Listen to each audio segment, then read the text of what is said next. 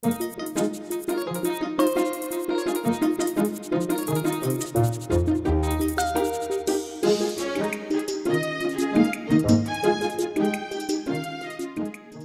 thank you for uh, attending the moderators meeting tonight.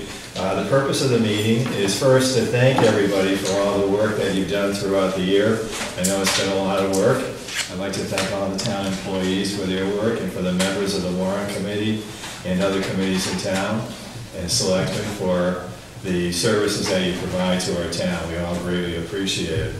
What I would like to do tonight is run through the format for the meeting uh, that will be happening on Monday. And let me deal with a couple of uh, particulars first. We will be using clickers again. And uh, many thanks to the warrant, uh, warrant Committee and to the Board of Selectmen authorizing the expenditure. I think it will save us a lot of time in getting through the meeting in one evening. Um, I propose to reduce the time for recording a vote from 20 seconds to 15 seconds. It seemed to me that 20 seconds was a little long last meeting, and it seemed that 15 seconds should suffice, but I wanted to throw it out here to see if there was any reaction one way or the other. Do you think 15 seconds would work well? Okay, so let's go with 15 seconds. Um, the, we'll start with our usual motion um, about anybody who's making an amendment has to provide the source of funding for the amendment. And I think that we may have some amendments coming up with respect to Article 15, some proposed ones. And we've been talking about, with town counsel about the form of those amendments, so we can um, deal with that more specifically when we get to Article 15. Uh, We'll then move into um, Article 2, which will deal with the town reports, and, um, which is pretty pro forma. And uh, Kate will make the motion, and Erica will second, uh, if I'm correct on that, Kate. Uh, And then on to Article 2, we'll be asking for $35,000 for the assessors, and again, Erica will make the motion, and Andrew Rossetti will be making the second. Article three will deal with uh, salaries for elected officials, and Amy Baskin will be making the motion, James Stewart will be second, seconding, and then I'll be calling through the list. Um, Candace, I forgot, after I make my preliminary remarks, usually it's customary to turn it over to the selectmen. Will you be making the um, comments on behalf of the selectmen before we start to deal with the motions? Yes, thank Okay. All right, very good, thanks, sorry I forgot to ask about that earl- earlier. Um, Article, so Article three, we'll call through the, um, the items, I'll ask for holds or questions, if there are any holds or questions, we'll then entertain the questions, have a discussion, and vote on those specific items for which there was a question separately. For those items for which there are no questions or objections, they'll be deemed to be approved after I finish calling through the list of items. Article four will then be the operating budget, and Kate, if I understand correctly, Erica will be making uh, the presentation Yes, on the budget for the warrant committee. Okay, and um, uh, Kate, you'll be making the motion, and Gordon Kendra will be making the second. Uh, Capital budget, um, uh, well, again, we'll be calling through the items. Now, um, who will be making a presentation, if any, with respect to the capital budget? Do- Do we want to have a presentation, if so? I don't believe we did last year. Right. And um, I think the idea this year is, it's a small set of requests. and we can Okay. Just wait and see if people have questions. Okay, fine. And then if there are questions, direct them to Bob and and Yes. to you, Er- and to you also, Kate? Yes. Okay, very good, thank you. Okay, I'm sorry, Kurt? Oh, sorry, Bob, Oh, okay. Oh, sorry. Okay. Um, Article six, uh, we'll be dealing with the unemployment compensation fund, pretty form, um, pro forma, uh, motion. Uh, Brooks, you'll be making the motion, and, uh, Fred will be making the second. Um, Article seven will be to, uh, deal with sick leave issues. Again, it's a pretty pro forma item. Uh, Mr. Hamley, Fred will be making the motion, and John Cohen will be seconding. Article eight um, is, involves a revolving fund for the recycling committee. Now, at the open committee hearing, uh, the warrant committee open hearing, Craig Hughes answered questions, I believe, with respect to that item. Will Craig be the primary spokesperson for this article? Yes. Okay, okay, thank you.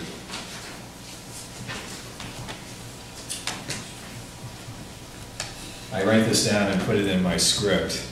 And then that way, if I drop at the podium, Dave Havlin or Peter Smith can step up and just continue without I'm applause. a message right now, let them know. Okay, good, thank you. Always prepared. Very good. Um, And the motion will be made by Gordon Tender and will be seconded by Kate Canning. Um, Then Article 9 also deals with revolving funds for other departments. Um, The uh, motion will be made by James Stewart and will be seconded by uh, Amy Baskin. If there are any questions with respect to these other revolving funds, who should um, I direct uh, those questions to? Kate, any, any thoughts about, would that be Candace or would- or Dave? Happy to. Okay, maybe, I think it would make sense because it's a pretty technical involved, it might be technical as well. Question about what the purpose is for some of the various revolving funds. Okay, so.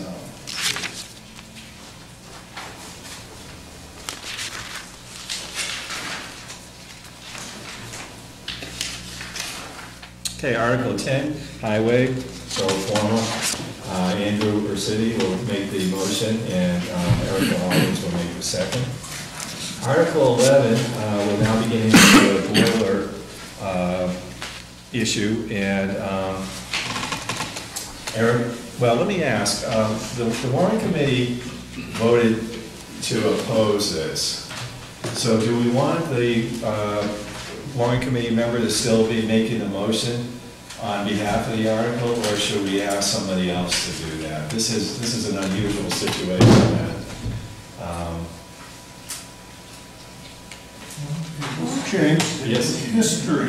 It, well, it wasn't unanimous, first of all. Um, it was six to three. okay, As luck would have it, um, the per- person who's been making the motions is one of the people who voted in Okay. favor of it. yep, Um, I can switch the person who's seconding to also be one of the other two people. I don't think that would matter as long as Okay, it's a yeah, so, second, but right? the person who is actually Okay. making the Right. motion is actually one of the three people. Okay, did. sure, as long as people feel comfortable, it's an unusual circumstance that, and uh, Jerry, did, did you? do- Well, I just wanted to say that historically, when such a situation that the warrant committee in a majority uh, was against an article, they have typically offered a motion to dismiss, Right, followed by um, discussion and um, a counter.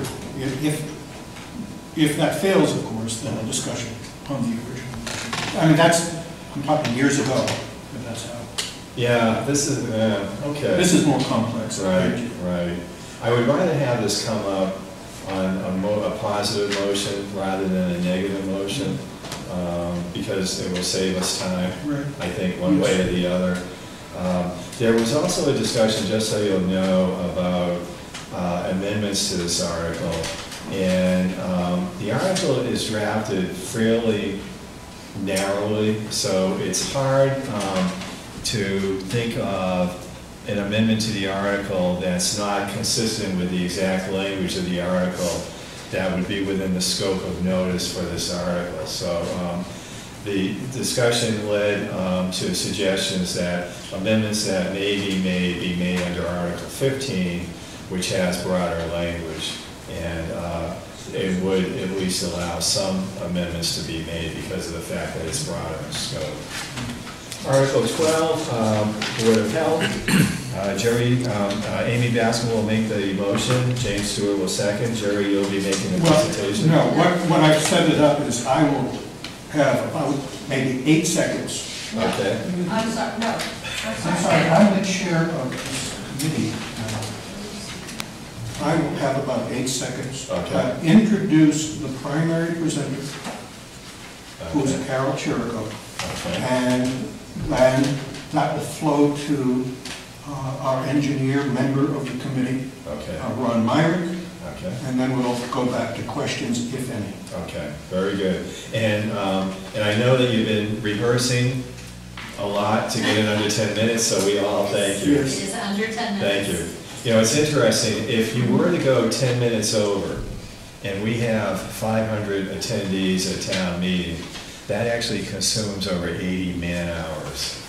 No, we- And, uh, we've so- gone back and, back over and over. So that's why I'm very strict about So, that. so as I said to you, although there are actually now more slides, they are less complex, Okay. pithier, and we've timed each time we've gone through it to get it down. Good, good, that, that's great. Uh, We will, uh, Dave Hamlin and Peter Smith will be acting as assistant moderators, and uh, one of them will probably be in the cafeteria, and the other will be up on the stage, and they'll be timing, so that they will be holding placards out to guide you. May I ask a question then about Sure. that? Much of our presentation is dependent upon the audience being to see, being able to see the slides. Mhm.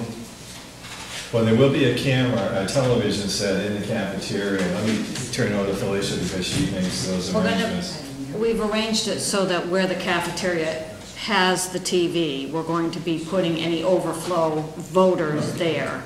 If there are other people overflow who are not voters, we'll ask them to go further down in the cafeteria. Small TV, large TV. Whatever's on the wall there, Jerry, I don't remember the exact dimensions, but we did not get a TV for this one because frankly, we're hoping to fit everybody in the auditorium. That's the optimal. All right, great, thank you. Okay, Article 13 has been withdrawn. Okay. Uh, You know, We did, this is, we just. So we're just whispering about that because we had no knowledge in that. oh, if that was what I was told. It- Yes. Article Article It has was, it was withdrawn. Okay. um, Article 14 is plastic bags, uh, which is a citizen's peti- petition. Um, Mr. Cohen will make the motion, and uh, Brooks Gurnett will second. Um, Is Avery here tonight? Avery's not here. Um, one point to note is that the warrant committee has not yet voted on this. Okay. We just received some information. Mhm. Uh, the intent is to vote at our final meeting before town meeting, Okay. which is Sunday morning. So do you feel uncomfortable making a motion then? Do you Well, want? no, I think we'll- we can make the motion. I just want to point out that we'll probably have a statement. Okay. To read, since there wasn't a statement in the blue book. Okay, Um, I think it might be appropriate at that time to have a member of the committees. Okay. So it, so after the motion is made, I'll turn it over to you to give the report. of the warrant committee.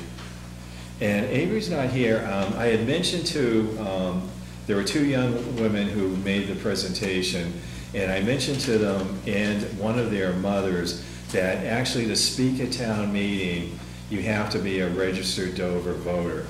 And uh, the, the woman that I spoke to thought that they were both over 18, although they hadn't registered yet. And I just want to make sure that somebody's able to communicate with them to make sure that they have registered, um, so that they will be able to speak at town meeting. Um, Jim, there's a difference between registering to vote and being able to vote at town meeting. There's a 20-day hiatus, which has Right. passed. I can, after this, go to my office and see where we stand with those Okay, people. they have to have registered by a certain date. in If they order want to vote, Yeah, which I would take to maybe, Bill, you might know better, but I'm not sure. They can be a registered voter, but the 20-day hiatus could be an issue. oh gee. Well, That would let, be- let's check it after the Okay. meeting. We'll see, maybe we don't even have an issue. That would be unfortunate. We, you know, I think it's important that we let them know so that they can uh, have an alternative plan. Person. Because um, uh, I want, you know, it would, it would be nice if this could be um, an educational experience for them. Um, And uh, I don't want to see somebody feel. And I can also check on that, but. I think we'll start and see where they Okay. stand. Yeah, I did mention that to, um, I think it was Avery's mother I spoke to, um, but I think it- it's important that we follow up on that, thank you. Thanks. Article 15 is the Caryl Community Center, and uh, Brooks Gurnett will make the motion, and Fred Hammerly will second. And here's where we, uh, and by the way, this is going to be a two-thirds vote because it will involve borrowing. And here's where we get to a discussion of amendments. Um, There have been a couple of amendments that are being uh, considered at this time. The uh, article is broader in scope, so it does support, um, if I can turn to the article and read it.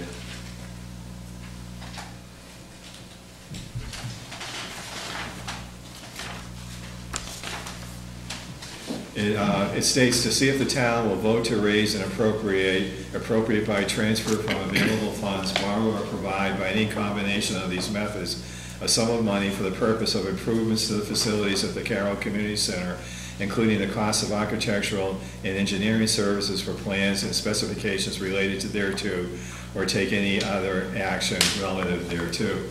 And a question has come up whether an amendment could be made in the event that uh, this failed, or perhaps as a positive amendment during consideration, uh, that the motions be narrowed to simply making a study with respect to boilers, uh, with respect to replacing boi- boilers. And Carol, if I'm not summarizing this correctly, feel free uh, to to intervene. And my, uh, I told Carol that I would rule that her motion, which has been reviewed by counsel, uh, to be within the scope of uh, the notice that the article provides, because improvements to the facility, in my mind, include improvements to the heating and cooling system, and studying those improvements. So I felt that that amendment would be within the scope. There has also been some discussion of an amendment asking for a committee to be formed to study tearing down the Caryl Community Center and replacing it with a new facility. And I have told the person who was considering that, that I feel that that's not within my discretion because it's outside the scope of the notice that's provided in the article. Um, The, in my mind, um, the improvements to the facility would not, re- would not involve actually replacing the facility uh, unfortunately. Um, It may be that we'll have to have a special town meeting then, depending on what happens at this town meeting, to deal with those issues.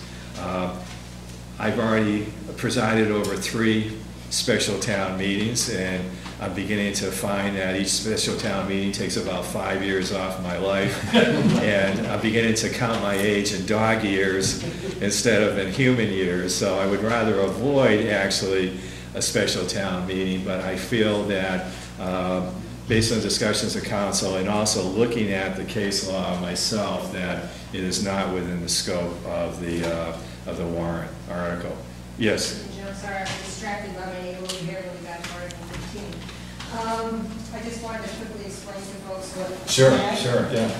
So, um, my thought was that, um, as a last resort only, that we did not, for those of us who support um, improving the Caryl Community Center, uh, we did not want to leave the 2018 town meeting with no plan B if both Article 11, if Article 11 failed, and then it was clear that Article 13 was going to fail. Because then we lose the momentum that we had, and we know what happens when we lose the momentum, then now we reinventing the wheel all over again. So if Article 11, so if Article 11 passes, I will certainly not be offering my amendment for Article 15. If Article 11 does not pass, um, then uh, what my, what what my amendment to Article 15 does is at least allow money and a way forward for further action on the heating situation, which is the most critical at the Caryl Community Center. So that's, it's not, automatic, if 11 passes, then there's no amendment to Article 15. okay. But if the conversation, Article 11 does not pass, and the conversation in Article 15 seems to enhance, seems that Article 15 as originated would probably fail, since it doesn't include anything with boilers, that at least we could leave with something that's been done, okay, from a leadership standpoint to move this forward. Now, Carol, do you want to make that as an amendment to the main motion? Or, I sent you an email where I discussed there were two alternatives for dealing with this. One alternative would be to make the amendment to the main motion, and then we would move to a discussion of your amendment, vote on the amendment, And uh, then if that passed, we would adopt the main motion as amended. Uh, The other alternative would be to wait until Article 15 is voted on, the main motion, and then make a motion for reconsideration. And then, in the, uh, if that motion for reconsideration passes, uh, then in the process of reconsidering, reconsidering the main motion, make an amendment at that time. And have you had, given any thought to? I I did, and there's, there's no ideal in that situation. Right. uh, Because um, in order to make the amendment, um, you have to get a reconsideration affirmative vote, Right, which, who knows? right. So, um, Now, it even is though a- that would be the preference, I think, if, you know, the the town's, gonna- if the town votes for Article 15, then there really isn't any need for the amendment. Right, right, Um, But you you can't rely on, on getting an affirmative on reconsideration in Right. order to even get to that.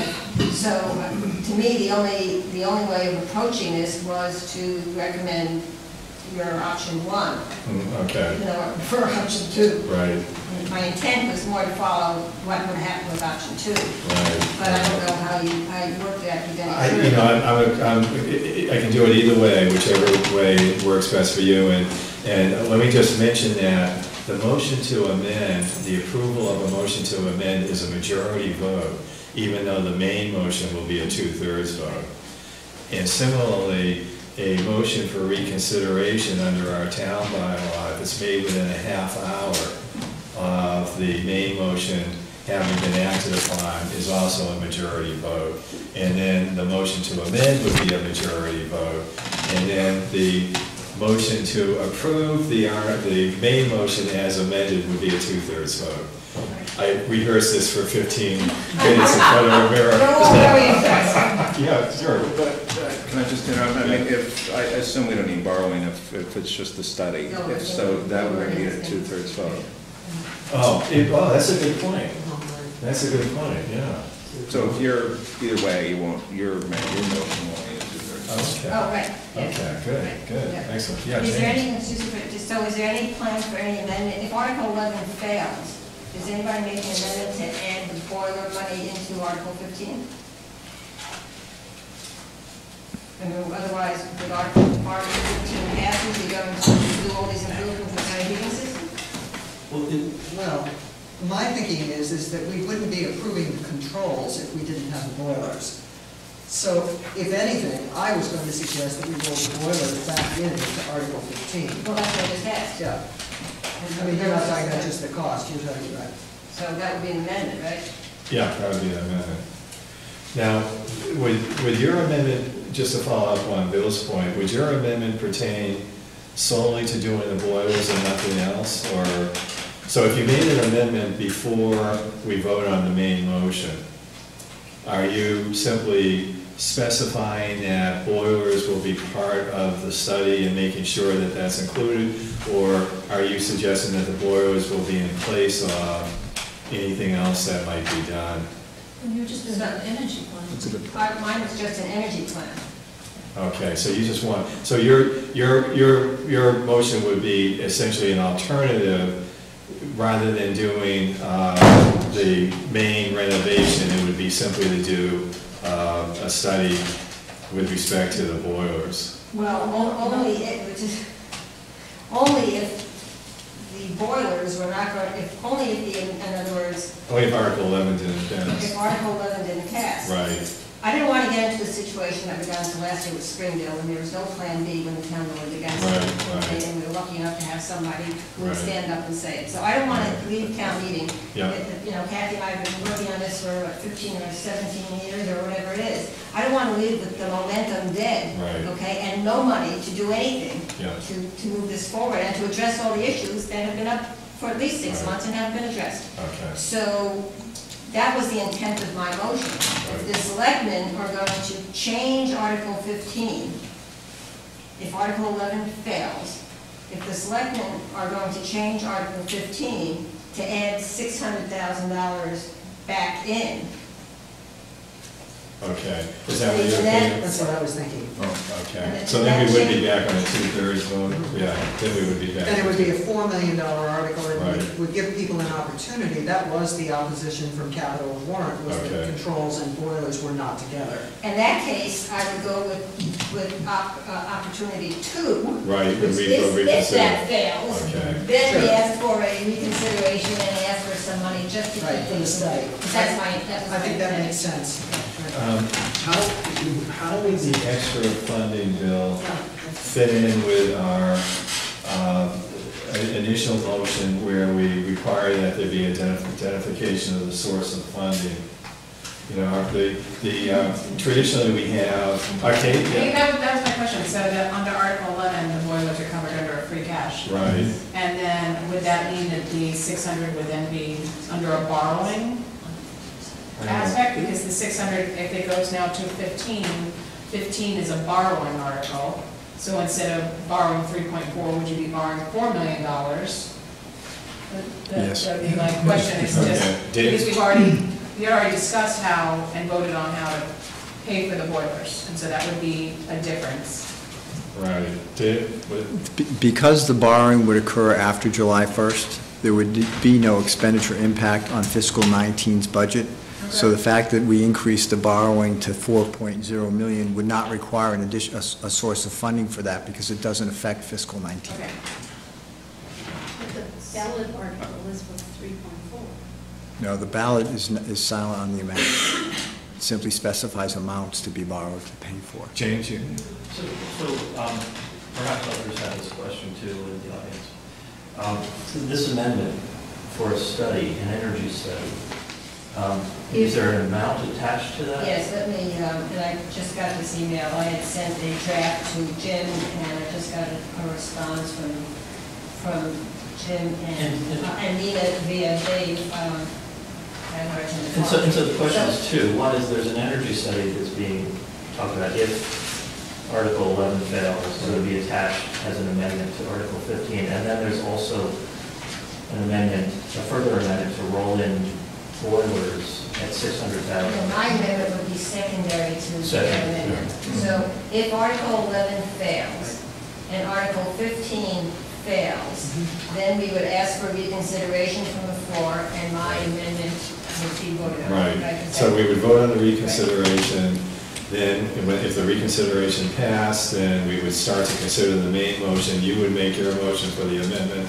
we would debate and vote on your motion to amend, then we would vote on the main article as amended if the motion to amend passed. So may I just read the amendment? So- Sure. So, so as it stands right now, and I haven't gotten back to, uh, anybody, but it. I move that the town transfer from free cash the sum, whoops, that's not the right one.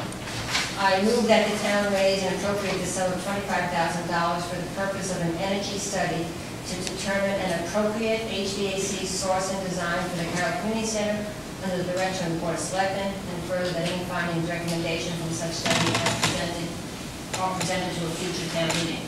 Well, the intent of this was to get this done for town meeting 2019, so I don't know that why that was deleted, so I don't know, you'll have to talk to Nina. if I'm. Well, yeah, or pass it through me, I'll, send me your question, I'll pass it along, yeah. As, as the guy who always seems to stand up for reconsideration, I I do have a question on this. The motion to reconsider, can that be qualified with a reason, or is it only a motion to reconsider the existing article? And the reason I ask is, given the 30-minute leeway, if Article 15, as established, as printed, fails, a motion to reconsider not otherwise qualified is very likely to face the same opposition because it's not clear to any party why this motion to reconsider and the subsequent intent to offer a, an amendment of significant alteration. You follow what I'm saying? Well, I I think I do, Jerry. Let me, let me see if I understand correctly, and then you can help me with this. Um, The person who's making the motion to amend would make the motion, and then if there, if, No, that you have to reconsider Oh, the okay. failed But- motion but- first. but- And the problem you face is that if it is a significant failure in terms of count, don't forget, it could have failed and still gotten fifty percent Right. because it was a two-thirds. But if it failed with sixty percent, for example, then a reconsideration, although it only requires fifty percent, if it cannot be explained, if there cannot be discussion on the motion to reconsider, and I don't believe you can discuss a can't, motion to reconsider, You can't debate it. you, as I said, In other words, could I say, Mr. Moderator, I would like to make a motion to reconsider Article 15 with an amendment to address a more limited study, or something like that. I don't know. see, that- that's question. the problem we Good we question, face. Jerry. What do you think, Bill? I know it's not debatable, I don't know whether that you are permitted to make the point that Carol's making, and we can, we can check and let you know on this. Okay. Well, and to the point also about the, the motion to include the boilers.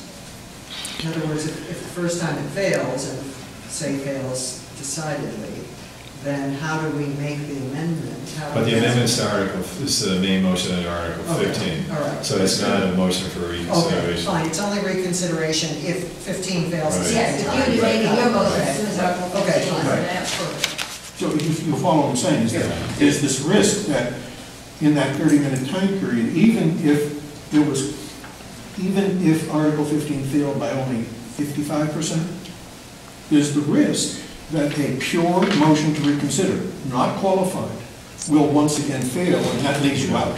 Which is why originally I said earlier that I wanted to, even though, Right. uh, I didn't want to get into that, for just that reason. Right. You know, it's always hard for, um, well, we'll see. We'll see. Okay, good point, Jerry, thank you. So if you could let me know that, maybe by, Yeah. I- I'm, s- I'm going to barely make it to town meeting Monday, so if I have to prepare something, Right. then I'd like to know tomorrow. if possible. Okay. Thank you. It- Well, okay, we'll see, right, Okay. thank you. Possible. Right. Thank you.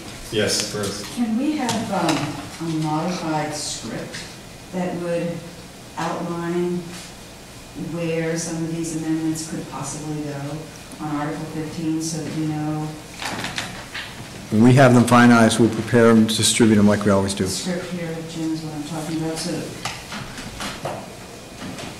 Um, we know what's happening? Well, I, we, I, I mean, I, I, I I could work with, um, is Greer here? Greer will, I'm Okay. speaking for Greer, yes. Okay, Uh, we could, um, we could add some scenarios, but obviously, we don't know exactly what's gonna happen at town meeting, so we're gonna be basically standing on our feet, reacting as it proceeds. Um, And, and obviously, there are a lot of variables as to which articles pass, and if they don't pass, and making a motion for reconsideration, the timing for that. Um, But, um, so, but we can give you a general, I mean, for example, I could forward to you the email that I sent to Carol, just outlining the two alternatives in general terms about how it would work. And uh, if that would be helpful. Yeah, James? You will provide the amendments, or will you provide the? Yeah, that would be nice if we could circulate the amendment to um, the committees beforehand. Um, And actually, it would also be nice if we could have copies made for everybody at town meeting, uh, I think. I think it's always helpful to see the amendment, um, for the voters to see it rather than simply be listening to it. Um, I don't know whether that would be possible. We'll do our best. Okay, um, I know it's a lot of extra work for you fellows, but uh, I think, I think it's helpful, you know, to the extent I have a bias, it's uh, trying to make sure that as much information is available to the town meeting before they vote. So if something can be in writing ahead of time that they can study, I think that would be very helpful. Okay, good. Okay. After Article 15, we'll be slitting pretty much um, through the rest of the items, but we do have a couple of other important items to consider. Um, Article 16, we'll be dealing with Concom. Eh, which is a pretty pro forma uh, motion. Mr. Fred Hammerly will be making a motion, and John Cohen will be seconding. Article 17 is open space and recreation. Uh, Again, Gordon Kinder will be making a motion, Kate Cannon will be seconding. Article 18 is kind of a funny motion um, that Dave was trying to explain to me today. Apparently, the Municipal Modernization Act requires that we go back and supplement our prior votes for borrowing.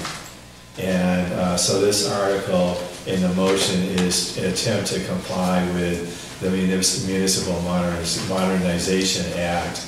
And, uh, and if there are any questions that are asked during the consideration of this article, I, uh, Kate or to Dave? Yeah, give it, I'll, I'll turn it over to Dave, uh, who understands this and was able to explain it to even me very well. Thank you, Article 19 is um, the uh, Regional School Committee uh, uh, request for some some capital equipment items. Andrew Rossetti will be making a motion, and Eric Alders will be seconding. Uh, If there are any questions on this, should I turn it over to Mr. Keo? Yes. Okay, okay.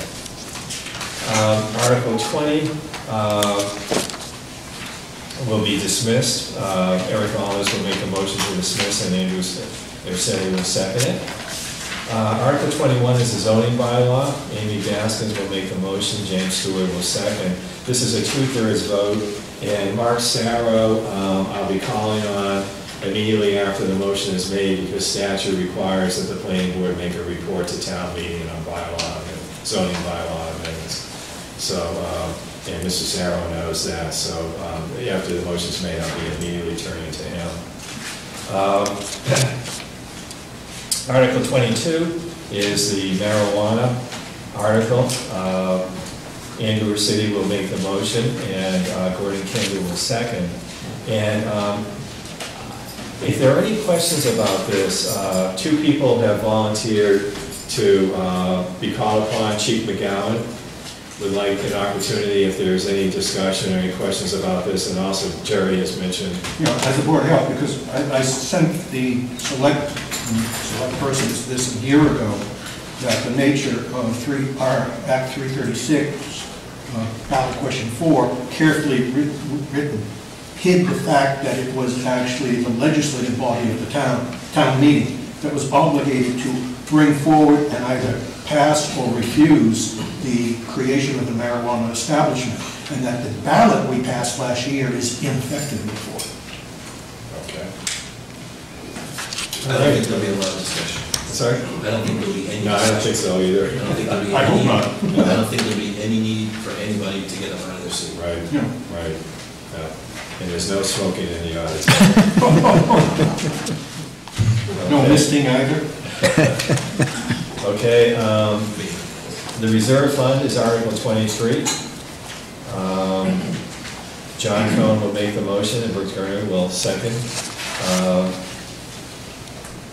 Unpaid bills, Article 24. um, This requires a four-fifths vote because it's relating back to prior years.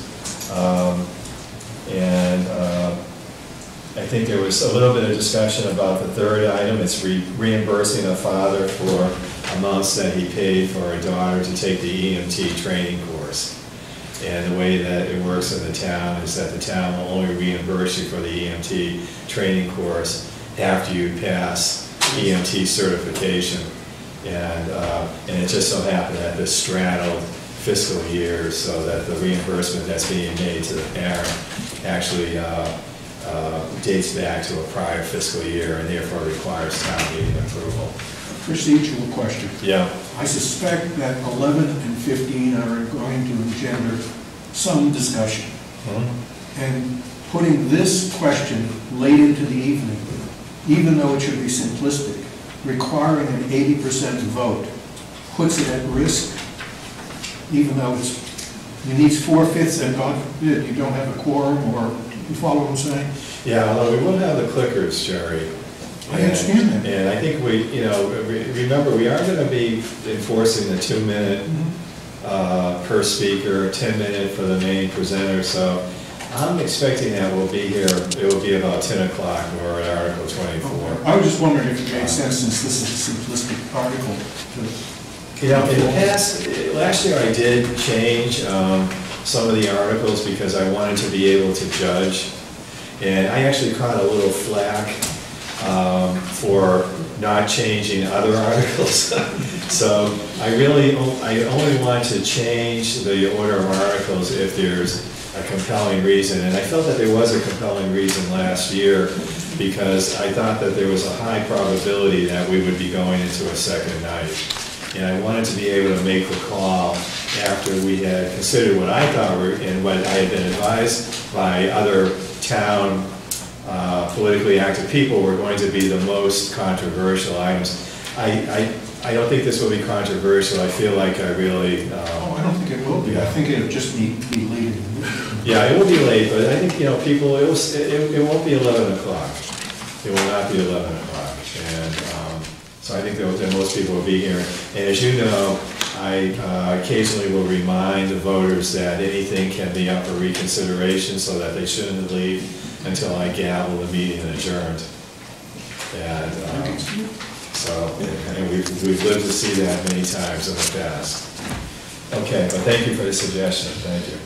Uh, Article twenty-five is a supplemental appropriation. Fred Hamerly will make the main motion, and John Cohn will second. And then Article twenty-six is free cash. Um, I've been hearing a little bit of rumbling that this may require some further discussion at town meeting. We'll be um, discussing free cash in the operating Article 4 Mhm. presentation. And then at this point in the meeting, I think it would be important to revisit that topic Okay, through a statement by the committee. Um, Okay. So that, because some, quite some time will have passed during the meeting. Um, Also, this amount may be impacted by votes taken during the meeting. right. How long will the uh, refreshing the recollection of the attendees take roughly? 15, 20 minutes? Uh, No, no. No, no, no. Uh, Two, three minutes. Okay, and who- will you be doing that? Uh, We'll be determining that on, deciding that on Sunday. Okay, okay, very But I'll let good. know. Okay, I'll let you know, that'd be good. Mr. Moderator, I think at, at that point in time, you have to determine first how many people you have to wake up. Yeah, right, Before you actually have to determine how many people right. reintroduce this. Right. I mean, it- I am a little worried about this being controversial, and I'm wondering, this might, this would be one that, you know, depending on what you all advise me, is this something that's likely to take a significant amount of time during the meeting? Um, It didn't last year. No, Well, unfortunately, we don't know how much money okay, warrant is going to, if any, is going to recommend. I think it's gonna be contingent upon the amount of money, certainly, to the extent of time. right, And the feasibility, the use of that money will be something that will be significantly contested, depending upon the amounts and what okay, one has in mind. There were several speakers in front of the floor last year. So if that's the same issue that no one seems to be raising specifically tonight, then you would expect some conversation from the floor again. right. It did go pretty quickly, though, With regards to last year, yeah, after Mr. Stewart's compelling presentation to give back free cash, most people were asleep when it came time for the rebuttal of giving back free cash, because it happened sometime after 11 o'clock. So it sounds like, just like my closing arguments. I, I think that, um, you did a solid presentation last year. We are, we've been having multiple conversations, um, been a little bit of a challenge because of scheduling. Right. Um, this is not a vote that we want to take unless our entire committee is available, and there have been challenges with travel schedules, so we'll be doing that on Sunday. Okay, Um, we will be concise, but, um, unfortunately, this is a topic that can't be talked about until late in the meeting because it is impacted by it's, it's, other right, votes. it's a, it's a Yeah. so, right, okay. All right, very good, thank you. And then uh, Article twenty-seven will be dismissed, uh, by, James Stewart will make a motion and Amy Baskin will second. And then, um, Kate will make a motion to dissolve the meeting, and hopefully it will be before eleven o'clock when we do that. You notice that the need, that sign by the Needham transfer station says town meeting starts Yeah, right. May seventh, seven P M. I, I, I go- I belong to the moderators listserv for Massachusetts, and there are some towns that they have town meetings seven days. Seven days. Wellesley spread into two weeks. Yeah, right. This year. So I, I think the reason that I'm trying to, um, control the time is that, one, I think that people's attention spans are, uh, it, it's a, it's an evening, they've worked all day, and, um, I think that they feel like they really want to move on the items, uh, fairly quickly after there's been, you know, adequate discussion. And it puts a burden on us, the speakers, because we have to try to distill our message to a very succinct statement. And uh, a friend of mine who's an author once said that uh, it's easy to write a 500-page novel. It's very difficult to write a 250-page novel. And I think that carries through to a lot of things that we do in communication. So, um, you know, think about how you're going to be uh, presenting your argument. Try to distill it to two or three points. Most of the studies show that people won't remember more than two or three points that you're making anyways. You watch the, the best advocates, and they're usually making no more than three points. Um, And if we can do that, hopefully we'll be able to get out at a reasonable hour, and, uh, and we'll be able to do it in one meeting. I know that the townspeople really appreciate it when we do that. Yes, So can I Kathy? um, ask how, how you might be intending to have people say, I, I had heard that you might, we might not be having the Boy Scouts doing mics down the aisles or. Yeah, we're going to do both. Um, Felicia and I have been talking about this, and we'll set up the two microphones down at the bottom of the aisles so that people will queue up. And in addition, um, having just had back surgery myself a year and a half ago, I'm sensitive to the fact that some people may not want to stand. So people who don't want to stand, uh, they can raise their hand. And what I will try to do is prorate calling on people who are raising their hands from the seat versus people who are at the microphones based on the relative numbers. So for example, if there are uh, 10 people queued up and two people who are raising their hand from the seats, one out of five people that I call on will be seated. And I think that's the only fair way for me to do that, because I think it's difficult to ask people who aren't able to stand in line to, uh, to do that. And I want to make sure that they're heard as well. So another question um, is, in the past, and- this may be fairly distant past, um, people who wanted to be able to speak to an article but weren't the main presenter um, identified themselves to the moderator, or the moderator was usually asking for that and wanting to know where that person Right. was, so that just, and- and be able to re- um, recognize those people before somebody that you don't know raises their hand to know the. Yeah, that's a good point, Kathy. Um, I did see that, it's in the, it went- somewhere in our, our, our um, webpage, it does mention that. And um, I'm gonna have to think about how I'm going to coordinate that um, with people queuing up. Um, It's only happened once in, in my eight years, um, that uh, somebody on one of the articles approached me and wanted to make sure that I would call on him. Uh, So it's not very frequent, but if it does happen, I should have a plan in place that's fair to deal with that. If you have any ideas about what would be a fair way to deal with that, I appreciate your comments. Yeah, Tom? Jim, uh, how would you handle that if uh, somebody in the crowd calls a question and you've got to line up with people that want to? Do you have any control over that? I don't. I mean, and, and, and calling the question is not debatable. Right. Uh, So if it happens that somebody is seated and they're, and when I'm calling on them proportionally, this happened at last town meeting. right. At that point, that's it. Um, I, I don't have, I don't believe I have the discretion to postpone a consideration of a motion calling a Would question. that encourage or discourage people from getting in line? Well, we have to use the honor system. I mean, if some, you know, at the beginning of the meeting, I do explain that we, or I did last time, we only did this for the first time last time. I do explain that uh, I prefer that people queue up, but if you're unable to stand in line, I will be calling proportionally on people sitting. It's, it's, um, it's an honor system. I can't, I'm certainly not gonna try to. Somebody in the line call the question? If they're, if their turn to speak, absolutely. What if it's not their turn? Then they're, they're not recognized. You mean you won't recognize? I won't recognize them. I- As, as, by the way, as Tom, as you know, I don't recognize people yelling on their turn from the floor either.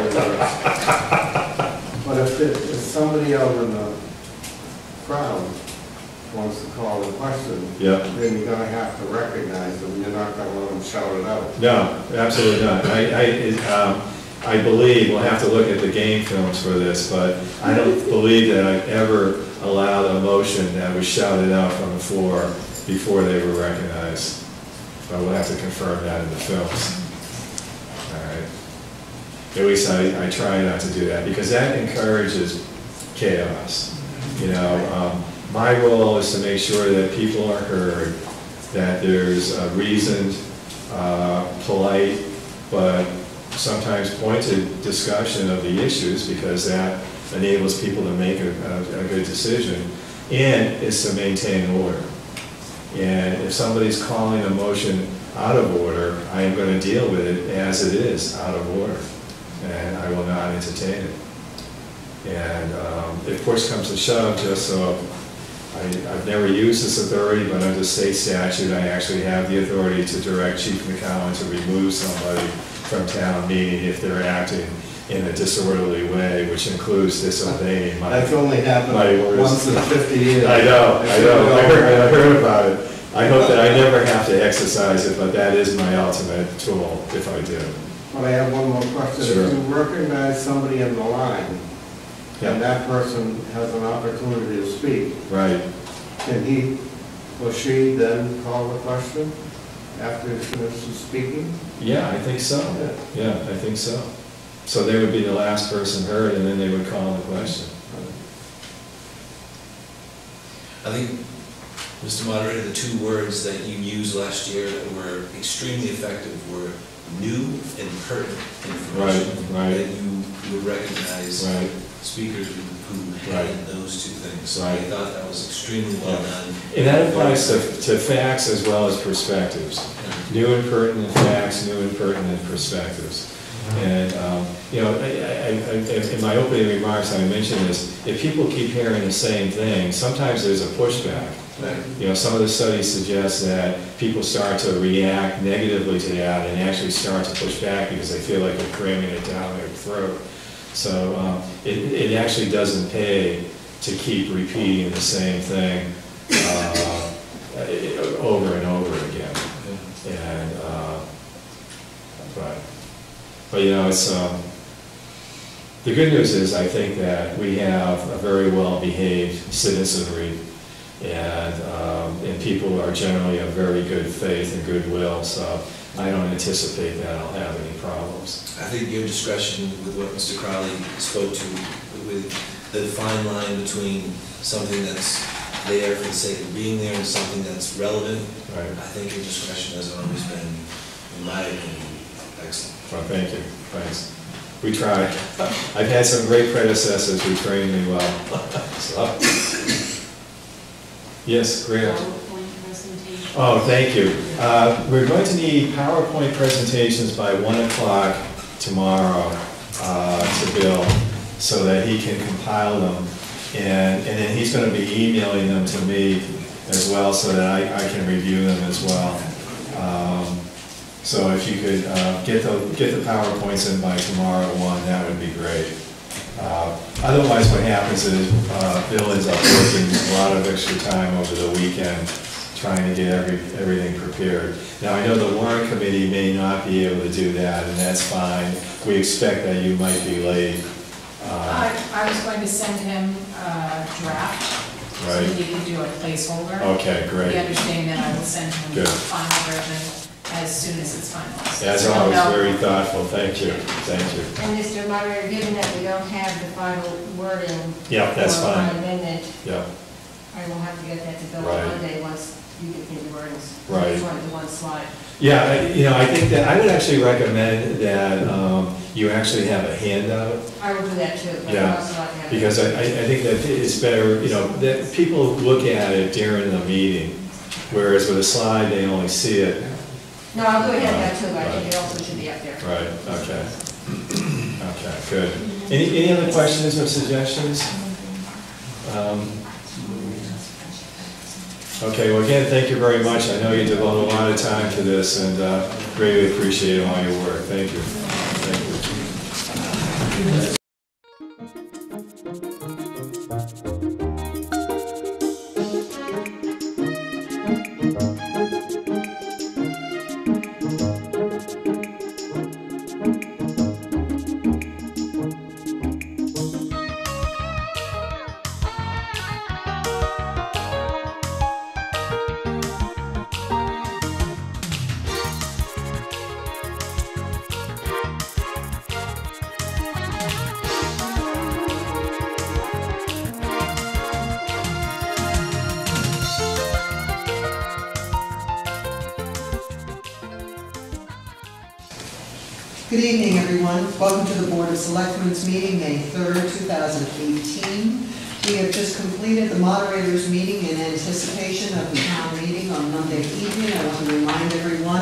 7 PM in Mudge Auditorium, our annual town meeting.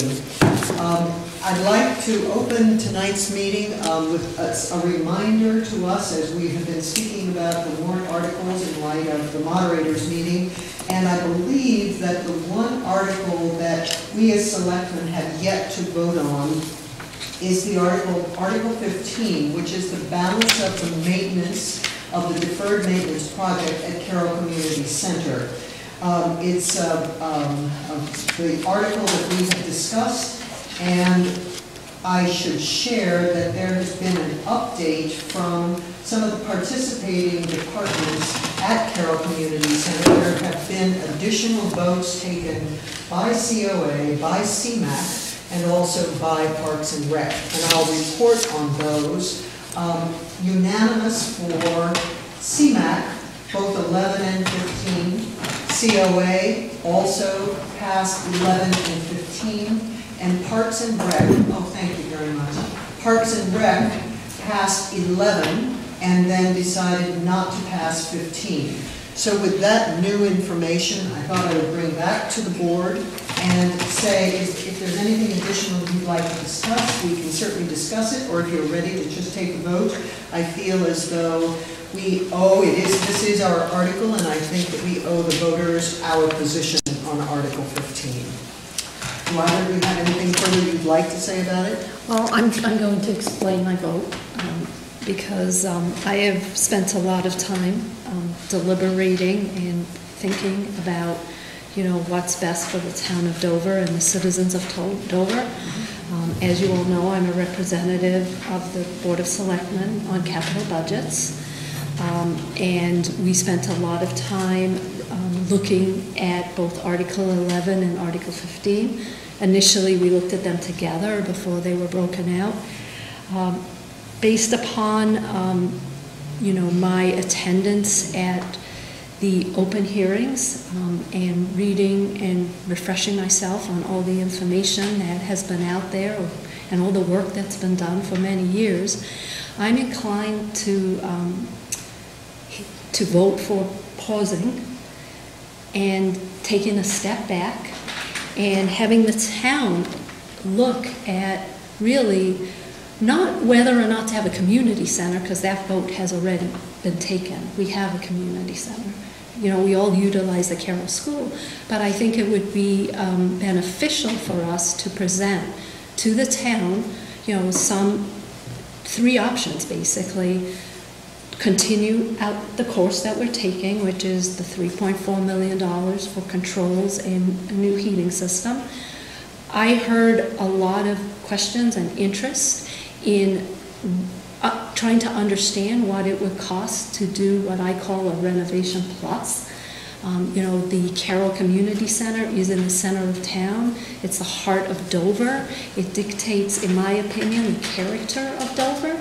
And I think there is somewhat of an appetite to understand how much more citizens would need to spend to do this renovation plus. which is to update the space both inside and outside. And then, although I'm not particularly in favor of this, but I believe we owe, owe it to the citizens to look at it, is what, what would it cost to have a smaller building, a new building, and tear down this building? And, you know, so again, I want to emphasize, I am very much in favor of the community center. I am very much in favor of a place for, for both the community and the extra town um, departments. Um, I think I would like to see a building that will be good for the next 50 years, that focuses on the right kind of space for the programs that we have today and programs in the future. And because of that, I am not voting against Caryl, but I am voting to pause, take a step back, and do it right. So is that a no? It's a no vote. Okay, John? So, excuse me, Madam Chair, um, I I agree with a lot of the things that uh, Mrs. Hunter said, and I agree with the, the, some of the ways that um, she's framed the, the argument in her vote. Let me give you sort of the other side of, uh, my vote is, I'll try to do it as quickly as possible. Um, I'm also, like Mrs. Hunter, in favor of the, the building. I think we, it's a great asset. The building has been standing for 90 years. The building has been, uh, there's, thr- there's been two different additions made to it. There's part of this that's an ongoing use, it's an ongoing asset. And I think it's a building that will evolve as it has evolved over the past 90 years. So in the scope of what our job is, I take a more black and white view of what the role of the selectmen should be with regards to this article as the article is written. So as the article is written and as the article states, I'm in favor of the article and I'm in support of the article. So I think that the article gives us the ability, from a feasibility standpoint, to look at all of the things, all of the concerns that Mrs. Hunter has- has brought to our attention tonight. So I am relying on the scope and the work that has been done, how we got here to this point. It's been a 16-year process to get from when we took over the building to, to this part. So I don't think that it's going to change what we do and how we do it, the methodology of how we do it. So I am in support of the amendment, and I also think we're going to hear a lot of debate at the town meeting. I'm hoping we hear for a lot of debate. So I am in favor of the, the amendment, and I'm going to vote in favor of, I'm sorry, the article. Thank you very much, Professor Clark, in favor of the article. Thank you, Mr. Jeffries, I appreciate that. Um, I would, um, and I'm all in. I am a firm believer in the value of the Caryl Community Center. I think it is, as you said, a true asset for our community. I think the fact that it was given to us and that we have followed the wish of the people to do the maintenance and to keep the building functional, I think is to everyone's credit. I also respect, respect the fact that we have come to the end of a 17-year maintenance plan, and these, these last four components, the boilers, the controls, the ADA uh, compliance improvements, and also the electricals and hallway work, all of this has been carefully planned out, and it was rolled together for cost-saving reasons. And so I'm in, very much in favor of that, not only the boilers, of course, that was Article 11, but the rest of Article 15, I'm all in favor. And to Mrs. Hunter's point about the maintenance plus, I think it's an interesting concept. Renovation plus. Renovation plus. I think it's a very interesting concept because passing Article 15 provides for that. We, we do the maintenance, and then you can talk about the plus. So in other words, in support of, of the improvements plus or renovations plus, I would, I would support, fully support Article 15 and um, think that, yes, indeed, then it's time to look at what are the other improvements we want to see to make the building specific to the users and to enhance the spaces for everyone. So that's a yes for me. So our vote on 15 is two in favor and one opposed. So we'd like to go forward with that, and that's important information for town meeting. So thank you both very much. Um, The next item on the agenda is to vote to authorize the expenditure of Massachusetts Department of Public Health funds. And what I am going to share is a a note from Peter McGowan, our police chief. As requested, I have reviewed the grant acceptance expenditure request from the Board of Health with Chief Hughes. I would recommend that you approve the request with the provision that the company and person selected to perform the development and/or revisions of the Board of Health emergency plans be required to meet with Chief Hughes and myself prior to the completion of any action plan recommendations. Additionally, we will ensure that any plans created or revised comply with the town of Dover's existing emergency management protocols as detailed in the attached memo from 2012. So this is an opportunity for us to approve the um, Department of Public Health funds for training. Any questions? No, I have no questions. Chairman, I I think the Board of Health has an opinion on all of this. I, yes, go ahead, Mr. Clark. I don't think it will change your vote, but this is a difficult issue. Uh, I have a lengthy script that was written by the various members of the board. What has transpired in the last two years has, in some cases, almost prevented the board from doing its work.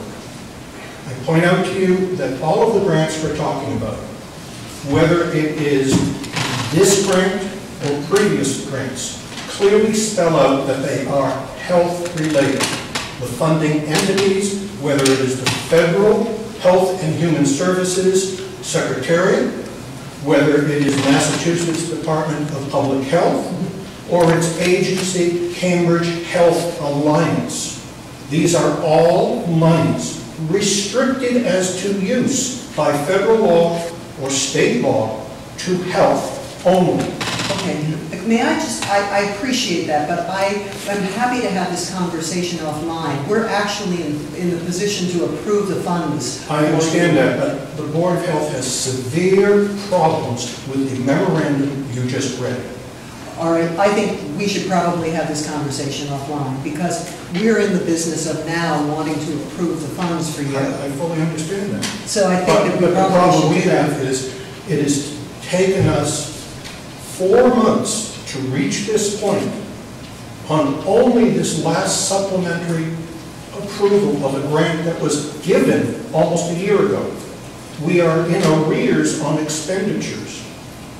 But we have approved this, and that's what we're ready to But, do. but it's in this lengthy period because of the involvement of parties who have nothing to do with health matters or the expenditure of these funds and legally have no say in the expenditure of those funds. Well, I, I, I understand your point, and I promise you that this is a conversation that can be had, but this harkens back to six years ago, when indeed the emergency management plans for the town were established. We just would like to approve the funds for you to avail yourselves of the training. This is unfortunately hanging up on the words that are involved, emergency planning.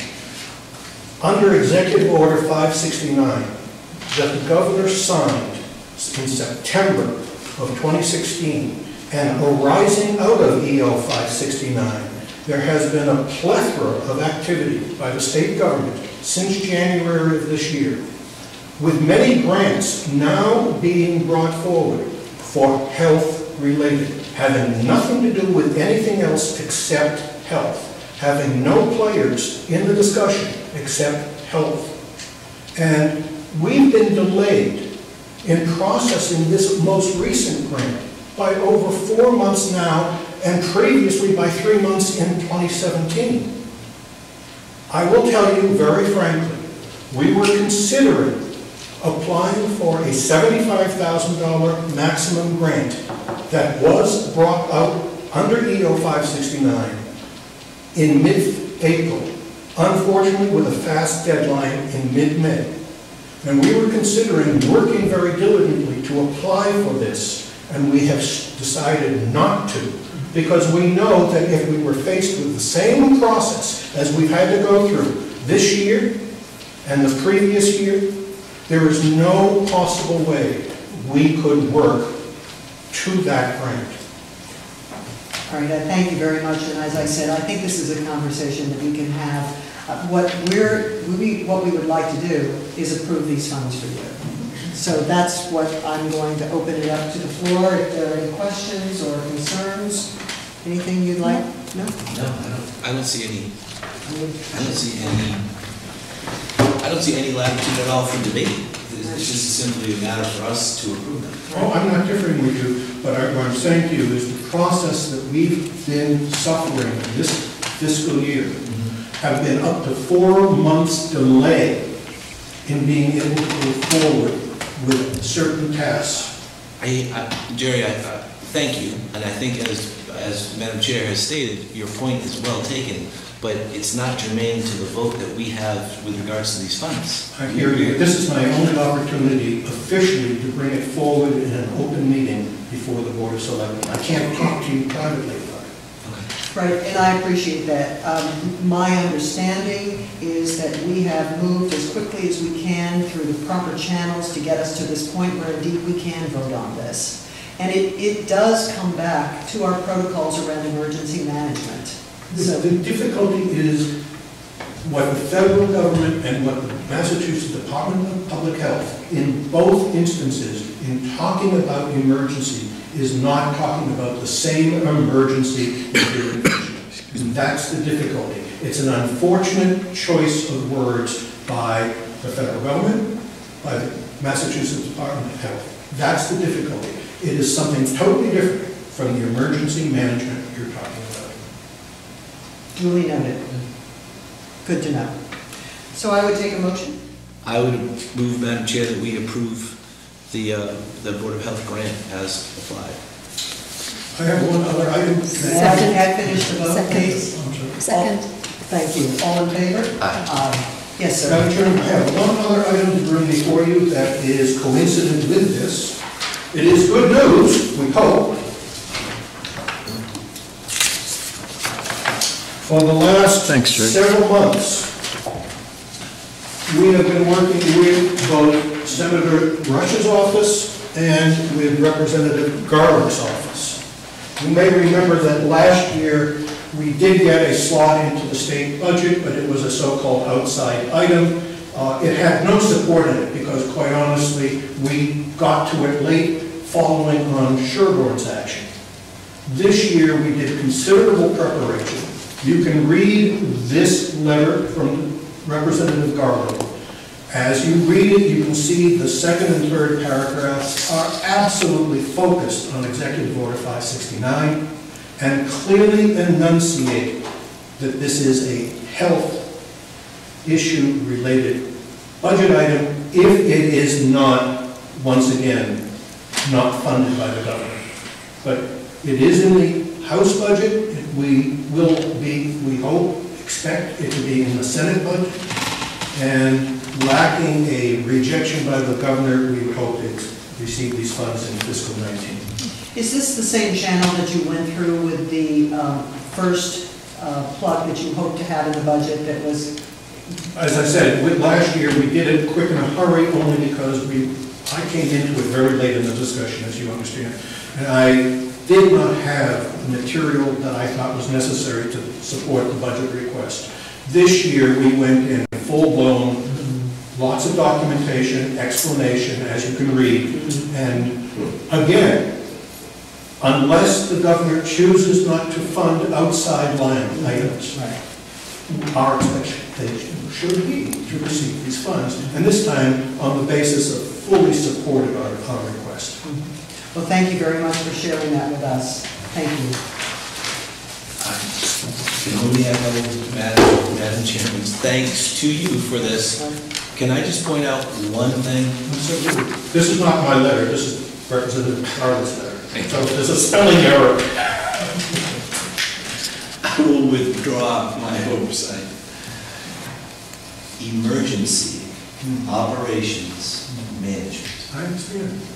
Emergency operations Operations I fully understand the problem that the words have. But if you, I'm Sister Nathan in third grade. Emergency Operations Management. yes, Uh, for example, We're constrained. You can't go further than what we're. well, the problem is, I don't think these two other departments, the two chiefs, have anything to do with tick-borne diseases, with Zika. Shall I go on? And for them to miss meetings over and over again and hold us up for four months most recently. We voted to spend these monies in February, and here we are in May. I hear that, but at the same time, I think we owe a great, great debt of gratitude to both chiefs because they are very much supporting this grant and your use of this grant. So I'm not different with their, their positive action. I'm saying to you, the process has, we knew we were reaching the end where we would have to return those monies. I hear you. All right, well, thank you very much. Glad that we could handle this tonight. The next item on the agenda is to execute the Massachusetts Interagency Mutual Aid Agreement. Would you like to speak to that, please? Certainly, Madam Chair. Dover has um, mutual aid agreements with all the surrounding towns except Sherborn and Natick. This is simply requesting that the town, that this Board of Selectmen execute the mutual aid agreements for those two towns.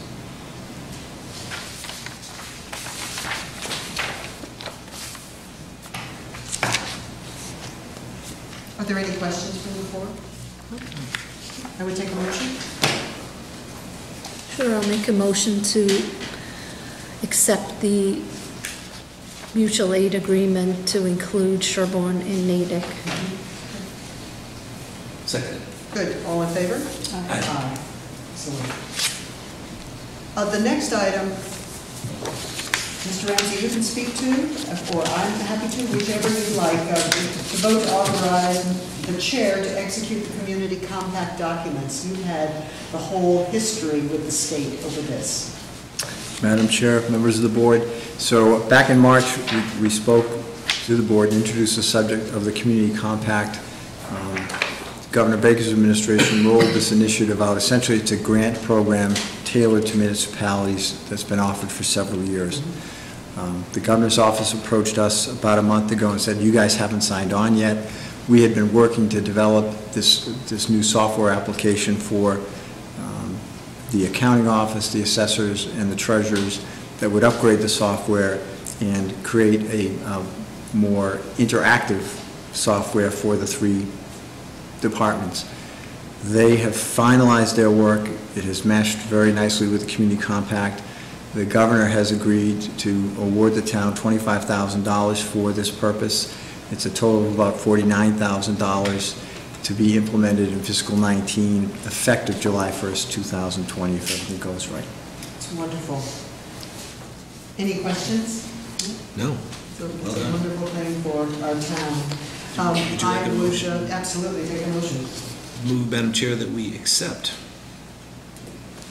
You have to give the actual number. For the authorizing the sign, right. Authorize you to sign Mhm. in, for, uh, on behalf of the town of Dover in the acceptance of this. Second? All in favor? Aye. Aye, thank you, and I look forward to doing that. It's a very nice thing for our town. And Scott, would you like to speak to the performance appraisals? Sure. Thank Yeah. you. Uh, Time really flies. Once again, it's time for performance appraisals. We've had another great year with our employees, and um, every May, we ask the board if we can uh, perform, uh, per- uh, conduct performance appraisals. Department heads prepare them uh, for their employees, and the department heads are also um, appraised, and although there are ongoing dialogues during the year, this is a really sort of um, a snapshot looking back at the year, uh, what the person accomplished, uh, shortcomings there might have been, and goal setting for the coming year. It's a great opportunity to have a very focused dialogue with each individual and to thank them where it's appropriate. Right. So we're asking that you allow us to commence that process. Wonderful, any questions? No. No. Okay, It's mostly thank yous. Right, I can imagine. So it's a process that you look forward to. Yes, we do, and it really, it just helps us to um, all sort of really focus on the particulars.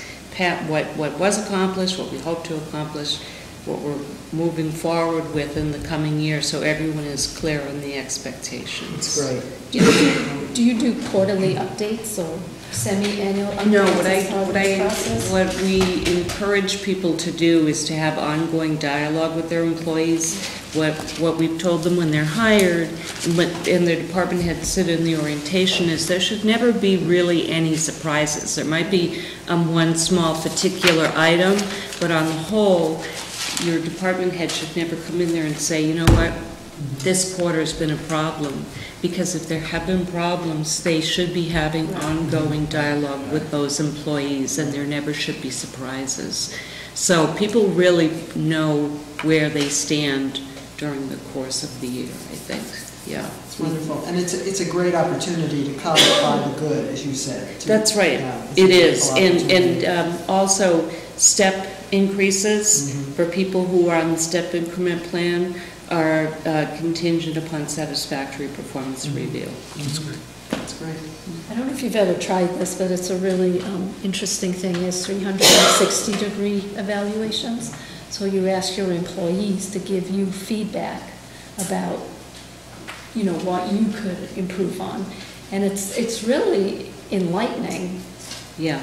It's, it's. Is it, like- yeah. So, yeah, so, you know, they, you, you just say, you know, are there things, as part of the review process, are there things that I do that you think I could do better, or are there things I do? I think that bother that, that that goes on during the appraisal. It's, it's really sort of a two-way street, saying this is what, you know, you accomplished, and then they'll say, well, you know, I think you need to be more communicative with me on this. I didn't realize that you wanted this started early, or, you know, in terms of prioritization, you know, I thought this was the priority, not that, and you need to be clearer next time. You know, we really do have pretty frank dialogues. Great. Yeah. The back and forth is wonderful. It is, yep, it is, and because we're a small town, few employees, there's a lot of conversation that goes on all the time, and and it's hard, to- it's hard to avoid each other, Mona. That's right. Yeah,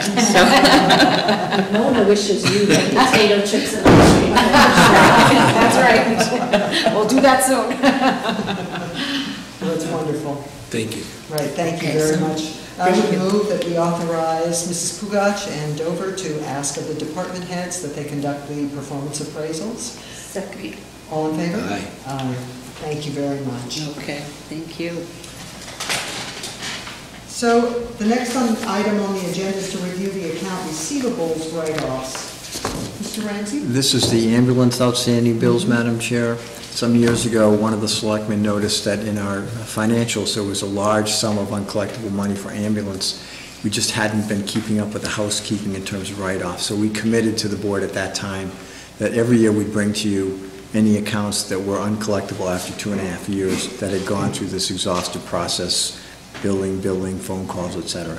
So this is that annual process. Uh, Total, I think, is about $7,000 in uncollectible bills.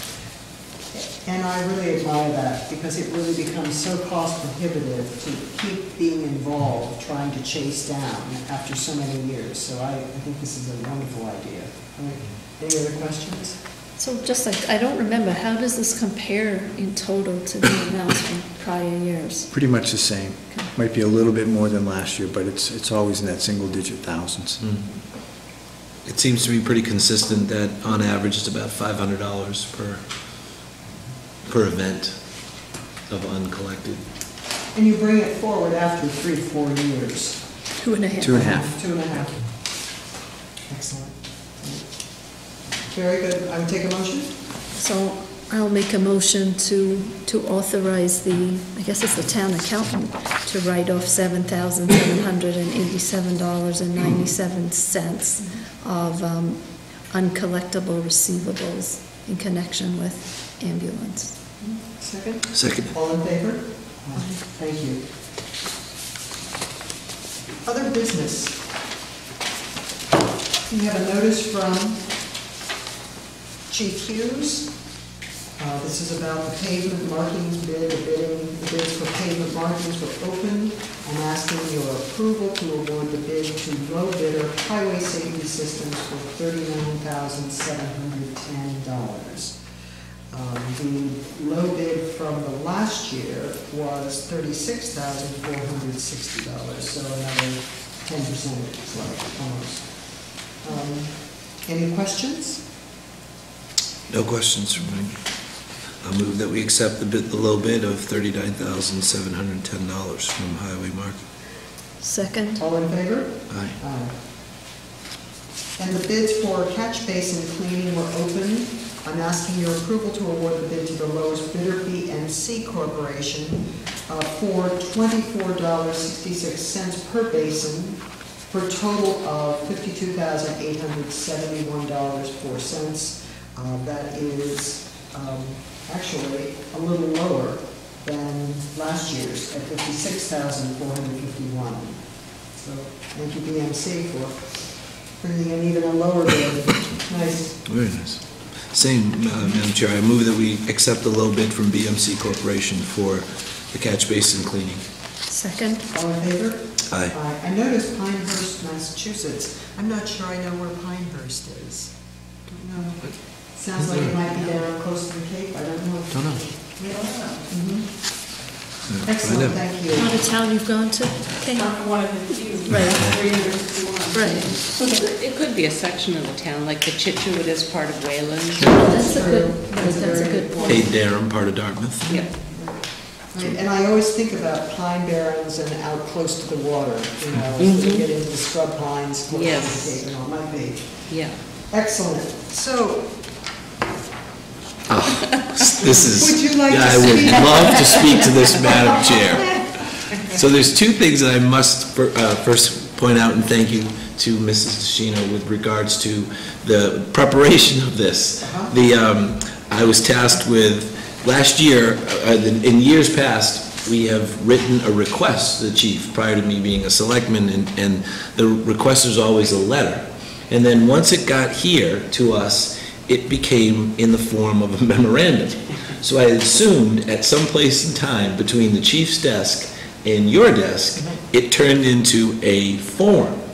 So I went in search of the form. Uh-huh. And there was no form in our office, there's no form in the clerk's office, there's no form in the chief's office. It's just a letter the chief receives. So we are asking, once again, it's the, it's a charity event, uh, going to be held in the second week of September. Um, It's going to, it, the event is called the Pullport Team Time Trial.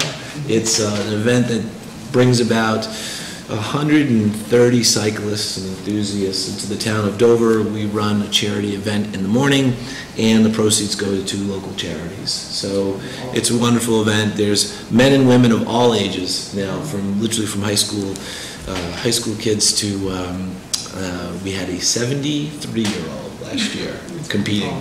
So um, it's a lot of fun, and we're doing it, we, we did it in coordination with a conversation with Parks and Recs, with, with, the with the police department, with Officer Harry, with um, the, the, uh, the team on the weekends, to have the time where we mitigated all of the traffic risks. So we, we went on a different day than the Dover days, and there's also a, an event with regards to the school, the Charles River School, we picked the opposite days that's of that as excellent. well, So you should have an easier time at the center of town. Exactly. Wonderful. The intent was to make it as simple and mitigate all the traffic with regards to both Charles River School, the town, anything happening at the Legion, and anything happening in the town, so. And if I remember from last year, the competition is fierce. It's fierce. Is Oh, fierce. this is a very serious group of men and women Right. who are training throughout the year for this, for For the this event. Port And Time trial. the- for the Pullport Team Time Trial. Team Time Trial. Teams of six riding through the town of Dover. So I am very happy to, to announce this event, to announce to the board that the chief, we have the chief's uh, approval and Parks and Recs approval and consideration by both the town boards and by the Charlestown Schools. Excellent. And what's the significance of starting at 6:06? Because it's a six-person team time trial. Okay. So we go off at 6:06. Yeah. And the sun rises At 6:06. that day at 6:06. Coincidentally. Coincidentally. Or it did last year anyways. so we're going to do about the same this year. So I would move that we accept the opportunity to have the event in the town of Dover once again this year. The eighth annual, Uh, I just noticed, I was going to say, eighth year in a row. eighth year in a row. Can we Yeah. take a second? Second. All in favor? Aye. Best wishes with this. Well, race. thank you very much. Thank you very much. And this leads right into. Very good Another segue. important part of the meeting. Um, Probably the meeting that gets, the part of the meeting gets the highest ratings at home on Oh, TV. I imagine people are calling, come, come, come see. It's top ten, weekend's top Gather ten. around. Even Kate has stayed for this part of the meeting. See? Uh, She gets invited. I'm convinced Mrs. Canny gets invited. I'm gonna hold a party just to. May 1st, retroactively, You should have Harvard had the Consulting after Group. Meeting at one of these places when we needed a special liquor license. Oh. A Harvard Consulting Group end of semester event at Elm Bank Rotary Club fundraiser on May 3rd. The Taste of Wellesley, several vendors Elm Bank. Lots of fun. Uh, May 5th, Elm Bank wedding. May 6th, birthday party at Elm Bank. May 19th, wedding at Elm Bank. May 21st, corporate outing, Elm Bank. May 28th, graduation party, Powisset Lodge. June 2nd, a bar mitzvah at Hale Reservation. June 2nd, Dover Music Festival at the Legion, which is a must attend. Mr. Ramsey, Ms. Fugash. And this was the one that caught the eye of Mrs. Hunter. June 15th, 16th, and 17th. The, w- is this the beer gardens, the beer gardens, Mrs. Hunter? I, I have no idea. I'm You going were to invited. attend. And If I like beer it on the gardens. 15th, I might go on the 16th. If I like it on the 16th, I may go back on the 17th. A three-day traveling beer garden Sleeping there. at Powisset Farm. And July 15th, the 2018 Crush Festival, Massachusetts Farm Wineries and Growers. That sounds like something we should have a corporate outing at. That should be. Barefoot. That reminds me of a Lucy show, crushing the grapes. So, Madam Chair, I submit to you the request for one-day liquor licenses in conjunction with our chief of police. Excellent. Second? Second. All in favor? Aye. I have a question for you both, and all of us here. A Powisset Lodge, um, is that one of the buildings in Hale, or is that the name? It is. It I was is, thinking it There's was summer Hale, camp right. there, Right. right, right. It's the beautiful one right overlooking, uh, Noanet Pond, I think. I'm not sure if Uh-huh, it right, is. Is it? I think it's lovely, but it's interesting to share the name, you know, Yeah. with Powisset Farm, so I just was curious. Thank you very much. Excellent. Well, we are moving right along. I'd like to thank you again, Mrs. Schiller, for a beautiful minutes. Oh, thank you. Thank you so much. And do you have any questions? No, they were- Mr. Jeffries, any? No, reading, having read through the minutes, I move that we accept the minutes of April 12th, 2018. Second. Aye, all in favor? Aye. Excellent. And are there any citizens' comments? Mrs. Canny? Just remember to bring the blue book to town meeting. That's right. Good. Thank you, very, very well done. That's right, that's all I got. Thank you very much. Anything else for the good of the order? Town meeting. Town Well, meeting, Again, everyone, town meeting, Monday night, May 7th, 7 PM, Mudge Auditorium at the Region, and uh, we look forward to seeing you there. The We will sooner we have- get a quorum, the That's sooner right. we start. That's right, quorum, and we Right. have clickers again this year, so the meeting will move right along as smoothly as possible. And only 15 seconds to vote this year. Oh, that's right. Next year, it's 10. We're honing it. Right, right. Kate, So- thank you to Warren. I know that you're going to be working with us quite literally till the 11th hour on Sunday. We are, yes. Yes, we are. Fun times. And again, sharing the dais on I Monday. think we should all take a spin class, a community spin, at nine. Great idea. Let's go to class, and then go to the, down the hall at ten. That's a great idea. Challenge accepted. Challenge is, see, it's a competitive group of It's a people. competitive group, and it's a true community center. It is. That's right. Really Well, is. thank you all for attending tonight, and best wishes for the weekend, and see you Monday night. Good night. Good night.